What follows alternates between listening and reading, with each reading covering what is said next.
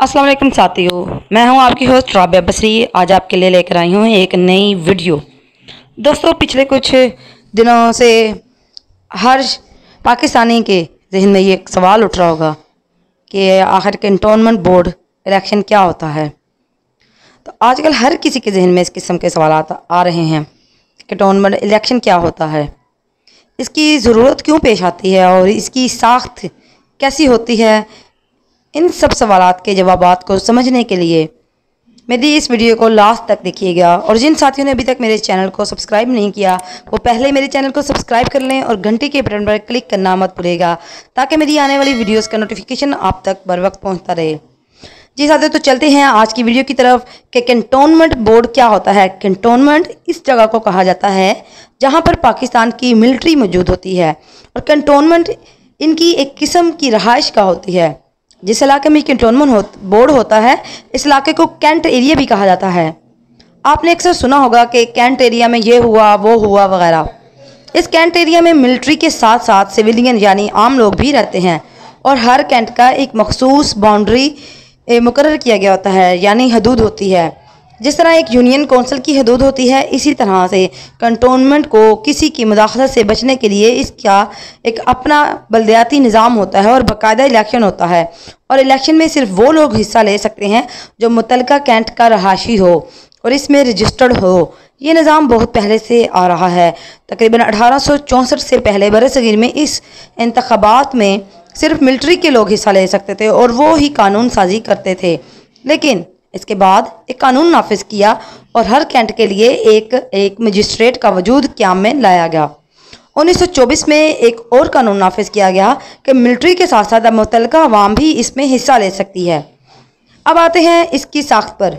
मुल्क भर में टोटल बयालीस कैंटोनमेंट बोर्ड मौजूद हैं, जिसमें 19 पंजाब, नौ के पी के आठ सिंध, तीन बलूचिस्तान और तीन गलगत में मौजूद हैं।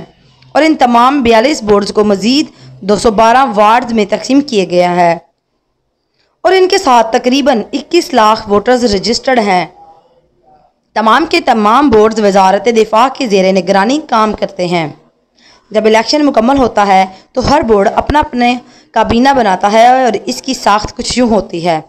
नंबर वन, पहली किस्म, अगर कंटोनमेंट के आबादी एक लाख या इससे ज़्यादा हो तो इसका एक सदर होगा और वो या तो हाजिर सर्विस कर्नल होगा या ब्रिगेडियर होगा, इसको स्टेशन कमांडर भी कहा जाता है। इसके साथ एक health officer maintenance engineer magistrate no civil या मिलिट्री ऑफिसर्स जो स्टेशन कमांडर ही नामजद करेगा और 12 मुंतखब मेंबर्स होते हैं। ये काबीना ही मुतल बोर्ड का इंतज़ाम चलाएगी। और दूसरी किस्म ये वो बोर्ड होते हैं जिसमें आबादी पचास हज़ार से ज़्यादा और एक लाख से कम हो तो इसका भी एक सदर या स्टेशन कमांडर होता है, एक हेल्थ ऑफिसर एक मेंटेनेंस इंजीनियर एक मजिस्ट्रेट चार सिविल या मिलिट्री नामजद ऑफिसर के जाते हैं और सात मुंतखब मम्बरान होते हैं। ये काबीना ही मुतल बोर्ड का इंतज़ामी अमूर चलाती है। तीसरी किस्म है, जिस बोर्ड में आबादी पचास हज़ार से कम हो, इस बोर्ड का भी एक सदर या स्टेशन कमांडर होता है। एक हेल्थ ऑफिसर मेंटेनेंस इंजीनियर एक मजिस्ट्रेट एक नामजद ऑफिसर और दो मुंतब मम्बरान होते हैं। इख्तियार क्या होते हैं? अब आपको ये बताते चले कि आखिर कंटोनमेंट के जो जो काबीना होती है, इसके इख्तियार क्या होते हैं? इसमें मुंतखब जो मम्बरान होते हैं, इनके पास मुंदज ज़ैर इख्तियार होते हैं। नंबर एक कंटोनमेंट के बजट को पास करना। कंटोनमेंट के लिए तरक्याती मनसूबों का क़्याम। टैक्स को नाफिज करना और इकट्ठा करना। छोटे कवानीन को लागू करना।